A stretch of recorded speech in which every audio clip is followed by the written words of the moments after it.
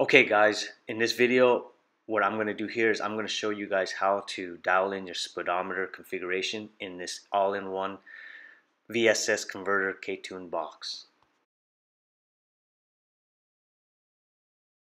Okay, so my goal here is to have the most accurate speedometer GPS so that way I know the correct speed I'm going and um, I want to be at 55 miles per hour and then I want to see where I am with my stock gauge cluster. So next thing I'm going to do here is I'm going to use this USB plug and I want to plug it into the VSS converter. Plugged into the USB cable. On the Ktuned website, I want to go to instructions and download the application.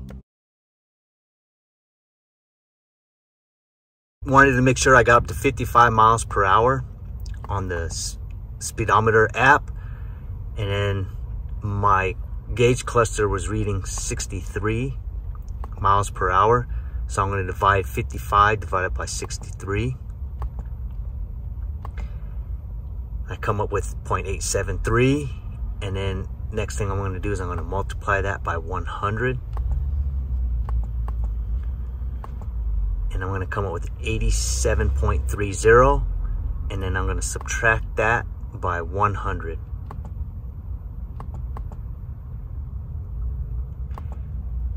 and my number is negative 12.69 so in here I'm gonna input negative 12.698. Write device. To make sure I got that correct, I'm just gonna say read device. So next thing I'm gonna do here is just go ahead and unplug that, plug it back into the vehicle, and then I'm gonna take it out to 55 miles per hour and see how accurate my uh, speedometer is.